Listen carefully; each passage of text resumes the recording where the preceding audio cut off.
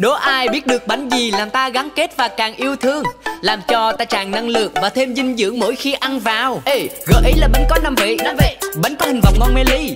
Sô-cô-la trắng, đen, cam cùng kem phô mai. Ở kem. Yo, bánh là bánh mà có hình vòng. Thơm thơm ngon tới năm vị. Nghe là thấy độc nhất vô nhị. Chỉ có thể là bánh đu quỳ Đu quỳ, đu quỳ donut Đu quỳ, đu quỳ donut Đu quỳ, đu quỳ donut Đu quỳ, đu quỳ donut Lấy ra cái bánh đu quỳ Ăn nhiều nhiều hơn nữa đi. Đoán xem, đoán xem nào Đây là mùi hương gì? Uhm. Bắt đầu nhắm mắt nè Ăn mình cùng ăn thả ga Đoán xem, đoán xem nào Dâu, cam hay sô-cô-la? Đu quỳ, đu quỳ donut. Ta vui ta thêm gắn kết. Đu quỳ, đu quỳ donut. Nhà mình ngập tràn với năng lượng. Đu quỳ, đu quỳ donut. Ta vui ta thêm gắn kết. Đu quỳ, đu quỳ donut. Nhà mình ngập tràn với yêu thương. Yeah yeah đu